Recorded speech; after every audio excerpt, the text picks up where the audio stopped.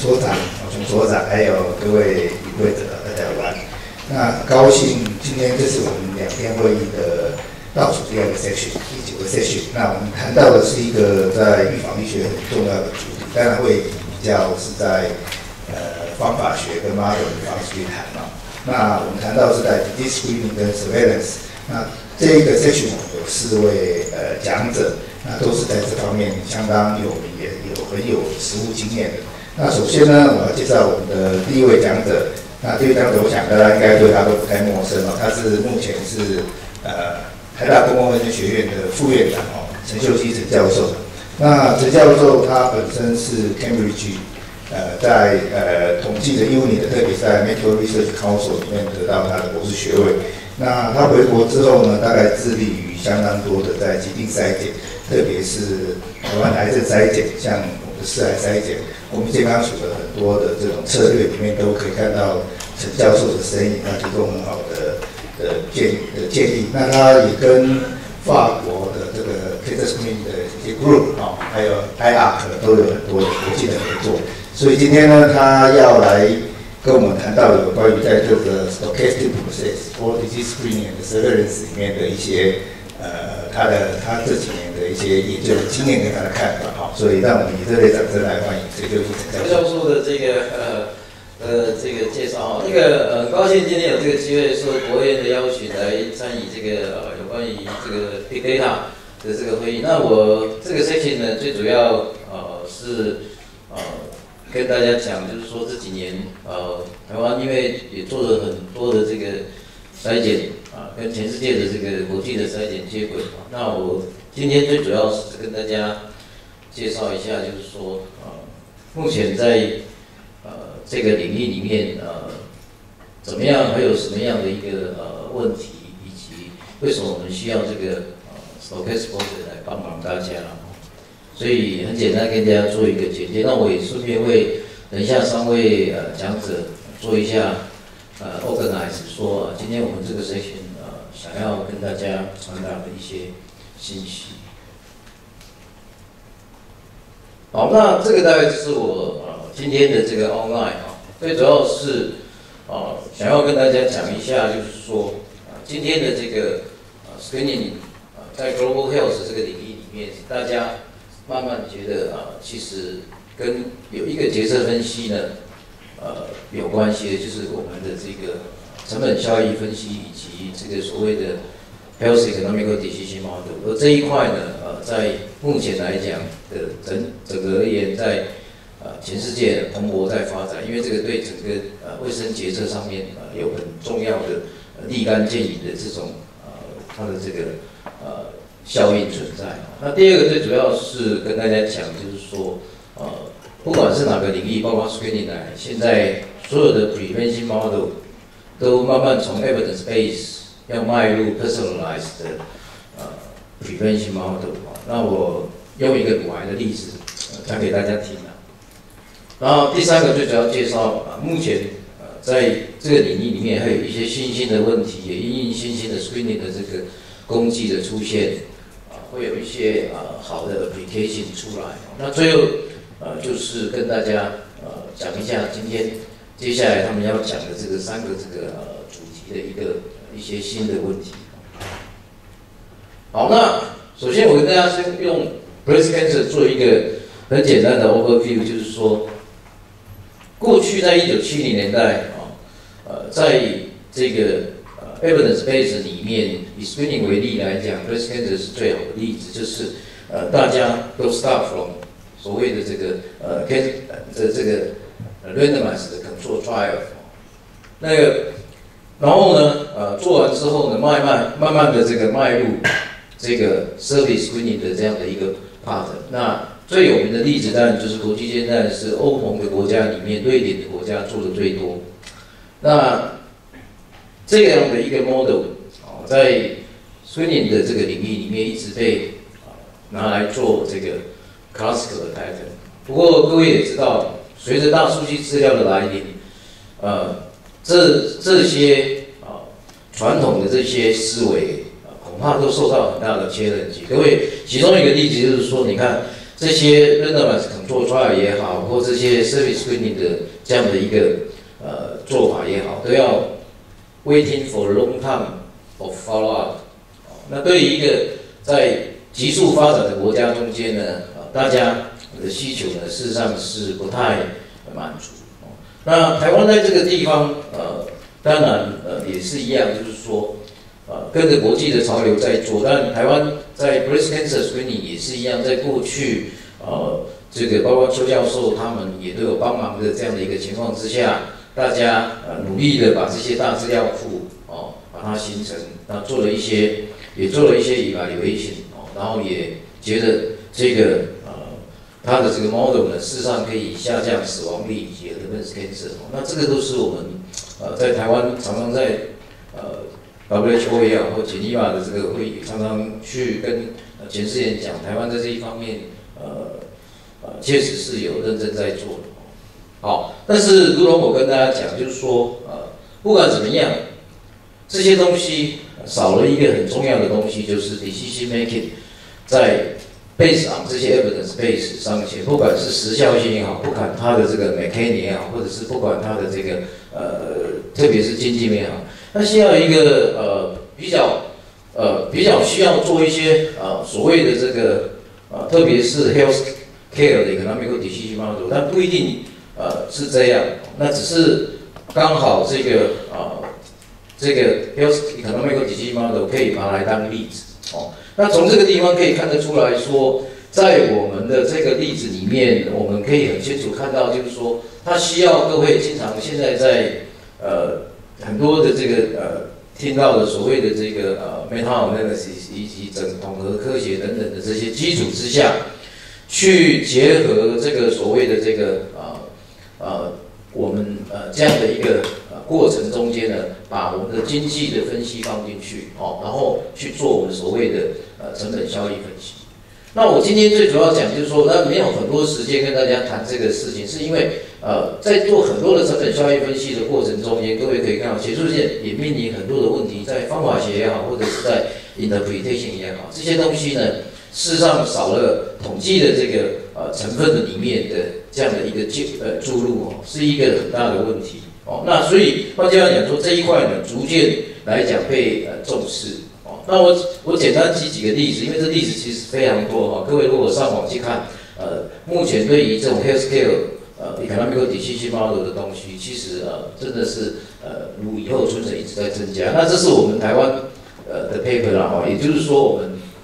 利用这个所谓的这个呃呃这个 stochastic model 去 model 呃 RCT 所不能够呃 elucidate 的这个复杂的从 medical transmission 到 horizontal transmission 到 carrier 之后的 recovery，一直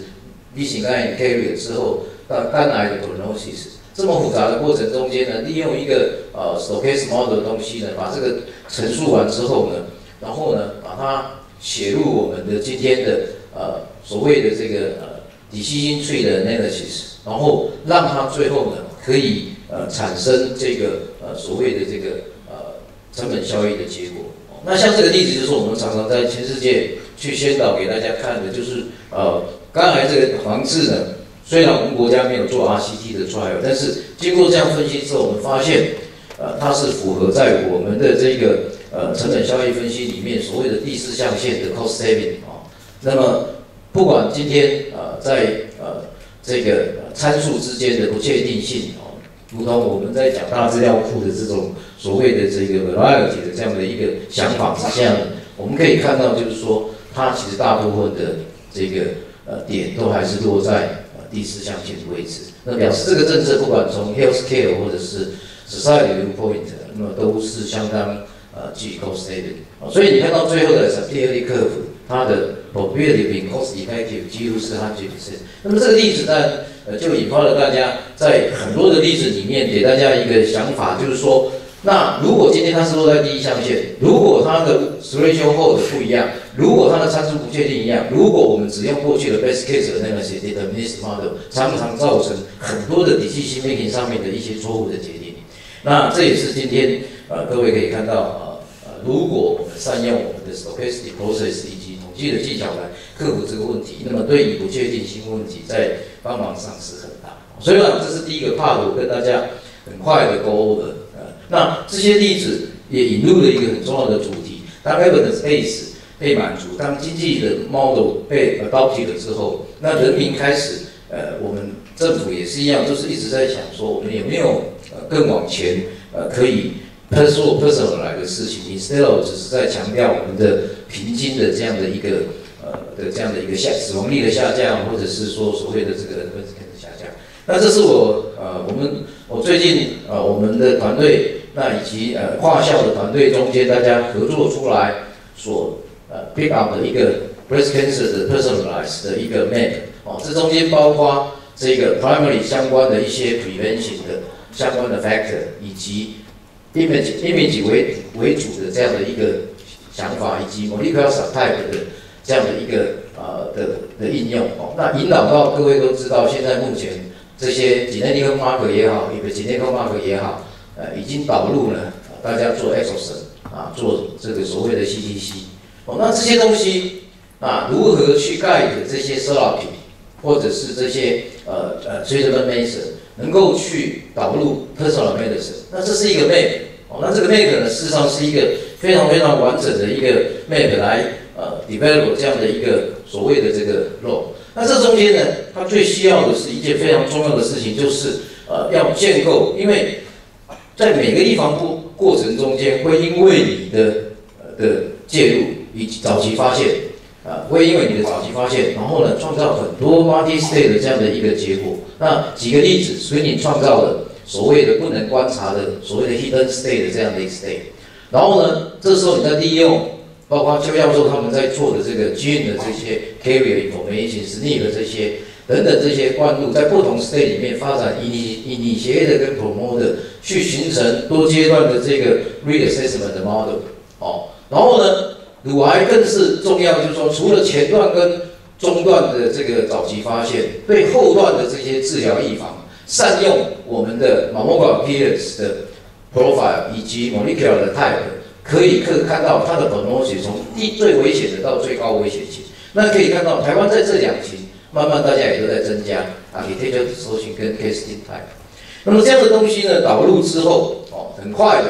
可以让我们做一个 personalize 来选择不同 risk group 的人，他开始筛检的年龄以及筛检间隔不一样，以及使用的工具开始会思考啊，会是一个啊不一样的这样的一个过程哦，那中间包括。有些时候会搭配阿双上啊，或搭配 MRI 啊，甚至以 t o m o s 这些这些东西来做我们啊所谓的这个呃 guide 哦，然后这时候我们再把我们的经济评估引进来哦，各位可以看到就是说，比如说一个 non carrier，那我们有做 carrier，但是时间关系，我们秀 non carrier 给大家看，就是说各位可以看到，当我们愿意给付的资额越高的时候，比如说某一个国家它是在两个 GDP 以内的这样的一个金额，你可以看到就是说他们能够接受的。这个 policy 哦，从很贵的 annual 的到这个两年筛一次，以及这个三年筛一次。那我们如果发展 personalize，我们的线呢是在这一条哦。它实际上来讲，就是说它会 risk base 的东西呢，会是一个呃呃是一个呃是一个参考点哦。那这个我想就是说也给大家呃做一个呃参考。那这样的东西呢，就会形成。